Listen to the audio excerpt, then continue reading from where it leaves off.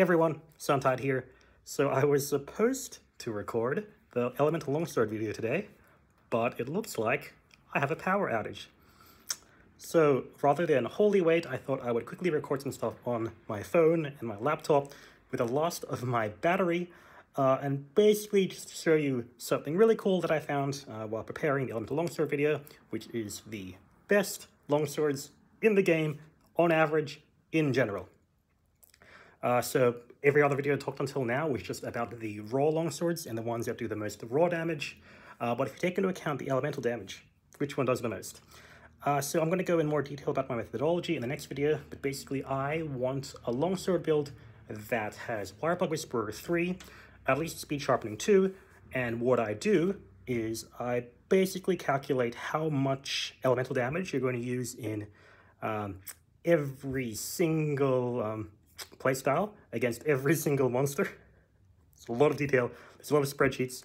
Um, and basically, once I have all of that, I calculate the average damage that each build does. So, without further ado, which are the best longswords? They're on this sheet. So basically, I have, oops, spoilers. I have the three playstyles, so Tempered Spirit Blade along with um, Sacred Sheath combo, Helmbreaker with the Ice Spirit Slash, and Sakura Slash with um, Sacred Sheath combo. And the worst longsword, well, at least ranked number four, 13, unlucky, is the Abyss Bringer Blade.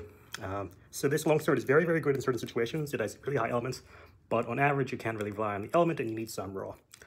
Uh, number 12 is the Abyssal Flicker. Uh, I'm very confused right now because a lot of people seem to be saying Abyssal Flicker is good again. Um, I thought I debunked that in the first video, but it seems to have made a resurgence. But yeah, no, um, Abyssal Flicker on average does less damage than pure raw. Uh, if you try and use the Abyssal Flicker on the Toadversary, you actually do more damage. Um, just So I'll just quickly show you that spreadsheet specifically. So here I have the Toadversary. Oh, this is going to be very zoomed out for you. So we have the Toadversary um, over there. So Toadversary has really, really big hit zones. Uh, it has 100 raw and 30 for each element. So if you try different, um, if you try so the relative impact of element is going to be really, really, really high.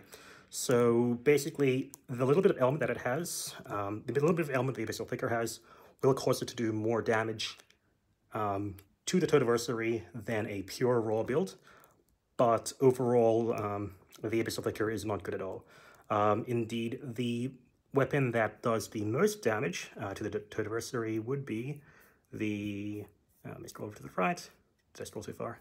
No, I didn't will be, oh no, what did I do? I zoomed way too much. The weapon does the most damage the adversary is going to be the,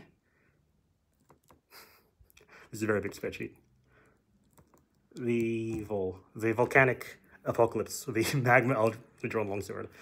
Uh, so yeah, it's not very, Vista Vicar is not very good, like at all. Uh, it's at least ranked 12, and I haven't ranked every longsword, so it's at least the 12th best longsword. So you can consider that. You might be above average.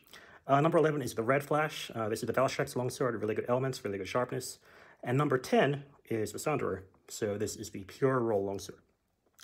Uh, this is really, really interesting because in the previous games, because of how strong Raw was, um, basically the best Raw weapon is the best general used weapon. In this game, that is not the case uh, because the elemental damage that the longsword does is really, really high. So on average, you can do better, more damage with other weapons. Uh, like, for example, number 9, which is the Flicker uh, Blizzard Slash. Now, this is also a bit where the um, damage style comes in. So, for example, the Tempered Spirit Blade uh, style does less elemental damage than the other styles. So in this case, Sunder is still better. But for other playstyles, Flicker Blizzard Slash, this is the Aurora Somnacanth Longsword, is going to be better.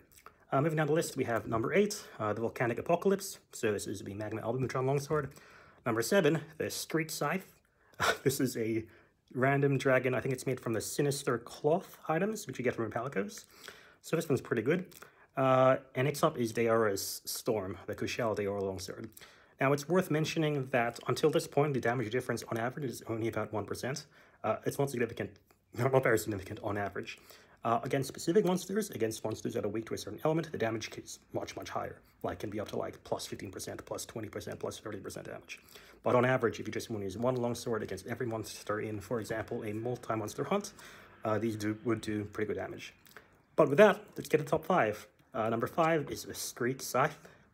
Um, again, oops, I think, I guess they're different builds. I, I didn't think about that properly.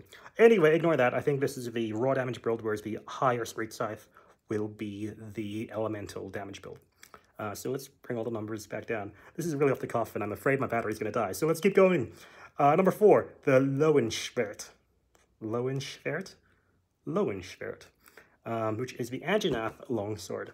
Um, this one has really high raw, relatively small damage, and that's what we're going to start to see. We're going to start to see perhaps weapons with higher raw and relatively lower um, element. And you can see that in the standard deviation column, uh, which is basically the difference between, um, which is a function of the difference between the maximum damage you can do to certain monsters and the minimum. So this one's relatively small. Um, the only one that's smaller is the Sunderer, which is pure raw, and the Abyssal Flicker, which is not good. Um, number three, the Frostvelt. Uh, this is the generic ice longsword, uh, and I like it because it actually looks really, really cool. So yeah, the generic ice longsword is actually really, really good um, on average. Number 10 is the Oppressor's Abyss, and this is where it starts actually getting really significant because the Oppressor's Abyss not only has a really high raw, but also a really high element. Um, I believe the Oppressor's Abyss has, by default, 10 hits of purple on average.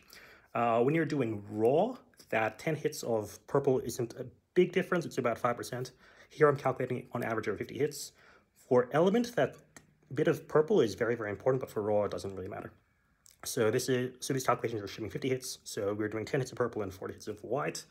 And in that case, the Oppressor's Abyss is still really, really good.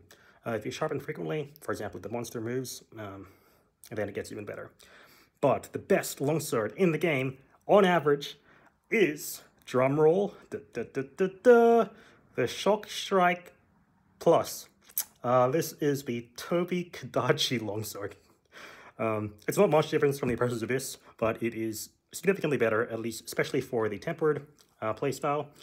But yeah, so for general use, the Shock Strike is the best monster in the game. I don't recall their sharpness off the top of my head, um, but yeah, it's it's the Shock Strike. So if you want to just build one longsword and do as much damage as possible, uh, yeah, the Tobi-Kadachi longsword. Um, the error is relatively low as well, actually.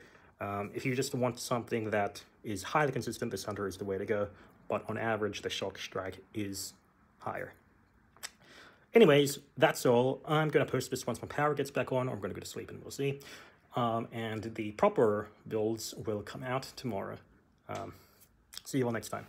50 hits of sharpness. Uh, it has 50 hits of sharpness, which is pretty good. Um, yeah, it's also in part that a lot of monsters are slightly Thunder weak, more so than other elements, so that's why those two Thunder Longswords are, on average, better than all of the other ones. Anyway, bye-bye.